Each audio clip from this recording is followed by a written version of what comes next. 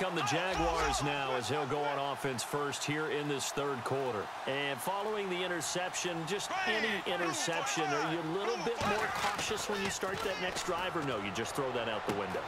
He's got the lane, and there he goes. Touchdown, Jaguars. A big play there with an unbelievable...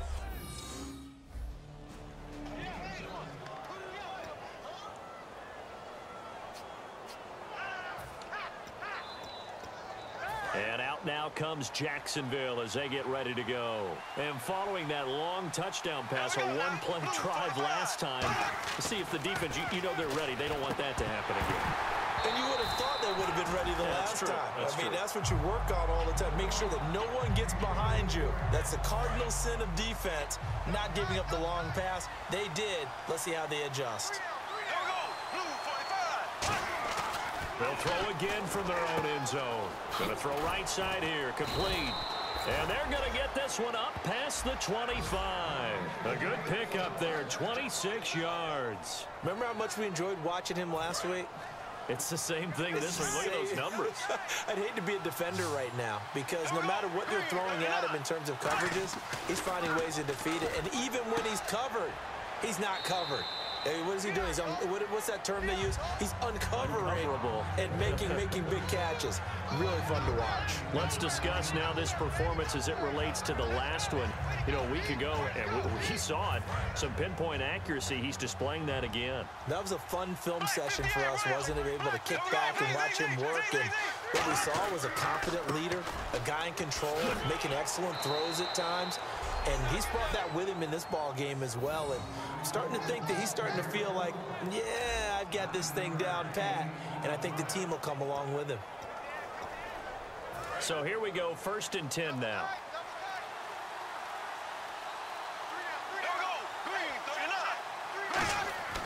On first down, Bortles. Got a man over the middle, and it's complete. A really nice gain of 25 yards. And now he's closing in on 450 yards passing. That's an incredible number. I mean, you're talking about the best defenders in the world that you're trying to throw the ball against, and you're creating that type of a number. Fantastic job, fantastic performance. And he's going to have to ice up his arm afterwards, too. A first down carry now for Yeldon. And he's got room. And they do stop him, but he takes it all the way to the two. Give him 30 yards there. Sometimes it's hard to believe, but there are times this game is about patience, isn't it? Has had the game he expected, but that run there, that may get him going. I was just going to say, maybe that gives him a little juice because you're right. He's And he'll take this into the end zone. Touchdown, Jacksonville. Denard Robinson, his fifth touchdown now on the year. And the Jaguars add six to their lead. Solid job up front. Really just a solid job all the way around to get that one in. Yeah, that was well executed.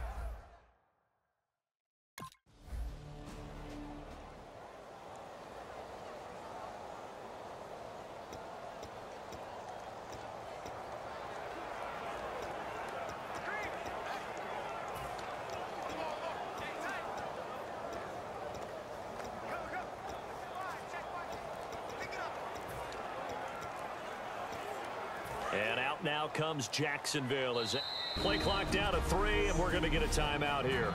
It's just their first, so two remaining as they burn one here in this third quarter. They'll start out on the ground. It's T.J. Yeldon. Oh, look at the juke. And he's taken down, but not before he gets this into enemy territory across the 40. One of the good things offenses did years ago was they lettered their gaps the same on each side. A gap between guard and center on either side. That's what you want to control when you're trying to run the ball up the middle. And why is that? Because typically... Yeldon fighting. He lost the football. And they have possession, and they have it at the 38-yard line.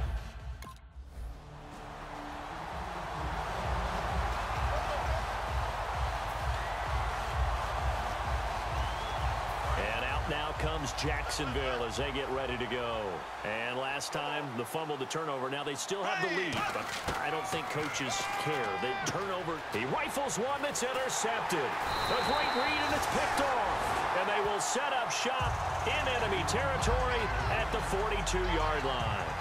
Uh, they needed a break. They needed to make a play here in the third quarter defensively. They did that. Now they got to go quickly and get some points on the board. And the best part is that they made their own break, taking the ball away. Now they just look at their offense and saying, guys, let's go. Come on, capitalize on this one. Brock Osweiler now heading out there to get set to go here on offense. And right now, probably just one thing in his mind. It's getting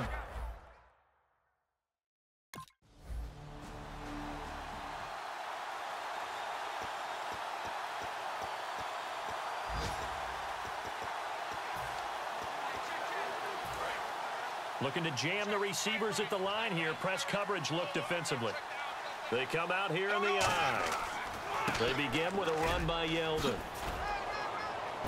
And he's able to plow forward up to about the 29, just shy of the 30. Calling a gain of four on first, and that'll make it second down. And this will probably be the last play of the quarter. We are off to the fourth quarter here on this special Christmas Day broadcast. We'll return with more after this break. You're watching the NFL on EA Sports. Back now here on EA Sports. It's Jaguar football here, and they'll look to extend their lead as we begin quarter number four. On second down, here's Yeldon. And he'll slip his way up across the 30 to the 32. Three yards is half of what they needed. Now can they get the other three here on third down? And in this situation with a lead fourth quarter, they're liking keeping the ball on the ground, I'm sure. That's just smart football, but you know the defense has to know it as well. They've got to stop them here. So now we're going to see that loading the box in a big way. Six, seven, eight, nine, whatever it's going to take, puts a little bit more pressure on your big offensive line.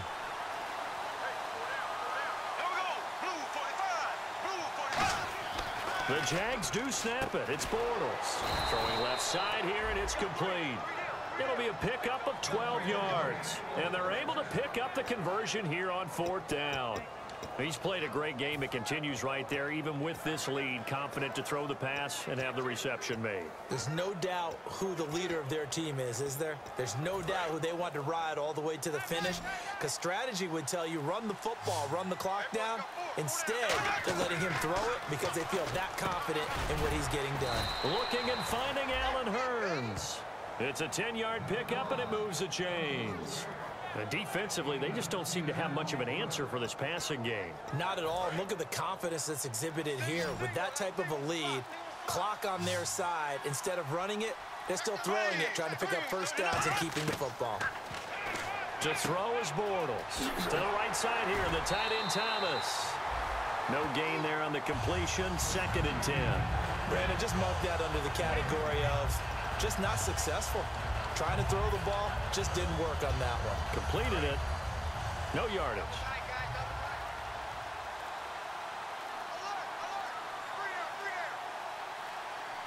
Yeldon, the lone running back. And they're going to take it all the way down and just take the delay. Delay of game, offense.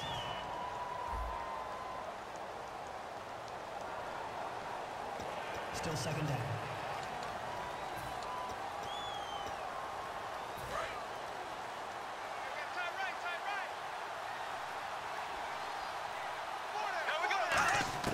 Again, they'll throw with Bortles. Oh, he'll want that one back. Incomplete. He doesn't drop too many in that department. Third down. Seventh play of this drive coming up, but a long way to go on third down. On third and long, it's Bortles. He's going to find his running back. It's complete. It'll be a pickup of just two, and it'll be fourth down.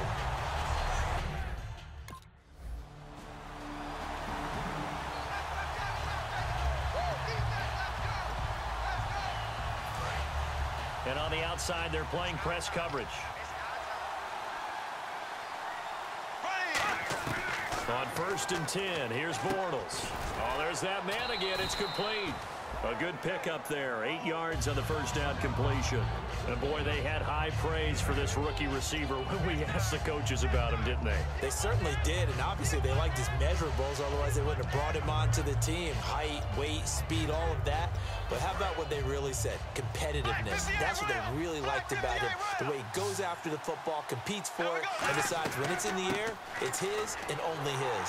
And he went backwards. He'll be down at the 30. So he loses three yards there. Now third down. The fourth quarter here, they've got the lead. They want to keep it on the ground. That's what they're doing. Smart football. Keep the clock grinding. Keep it going. But you got to figure now, they're going to see more people stacked up at the line of scrimmage as they try and bleed it out.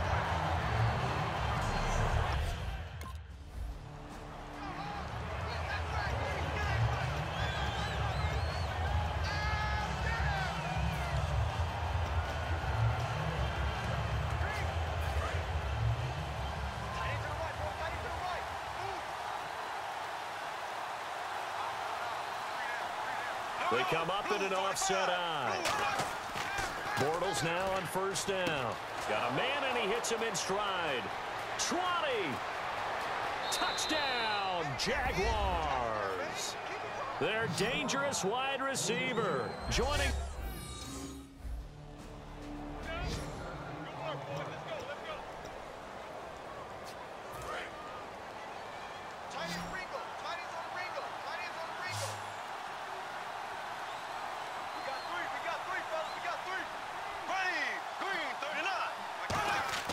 Bortles now on first down. And he's got his favorite target yet again. It's complete. And he does take it in for the touchdown, but a flag on the field, and I don't think this is going to stand. Yeah, don't put the points on the board just yet. Holding offense.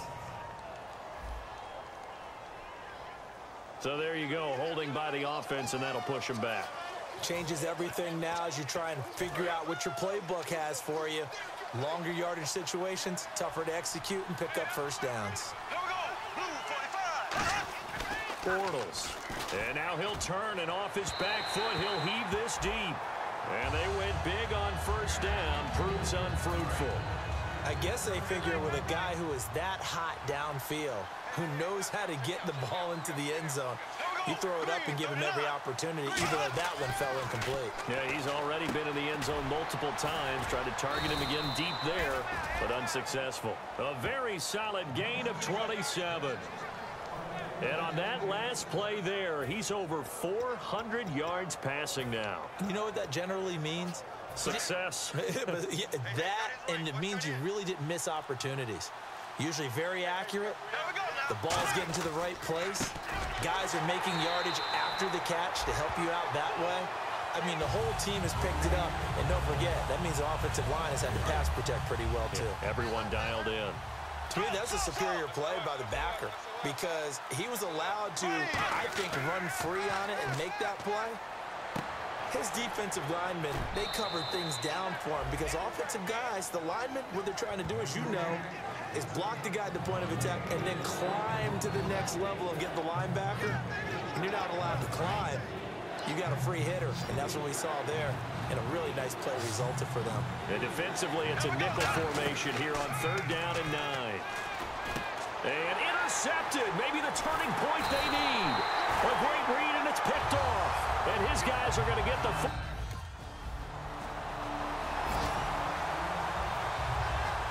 But Charles, it's one thing to win. It's another thing to win and put up the amount of points that they did.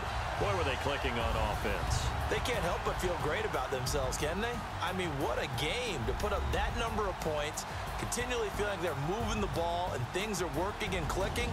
They think that they can bottle this and carry it with them. And as an offensive coordinator, you just don't think you can do anything wrong. Whatever you call, run, pass, it's all going to work. That's called being in the zone. So for the Jaguars, they move ever closer to the perfect regular season as they run things to 14-0. And they will head home next week to take on the Tennessee Titans. Meanwhile, for Houston, the loss might knock them out of playoff contention as they drop to 6 and 8. And they'll be back home next week as they're set to take on the Cincinnati Bengals. So that'll just about do it for Charles Davis. I'm Brandon Gaudin. You've been watching the NFL on EA Sports. For more, log on to easports.com. So long, everybody.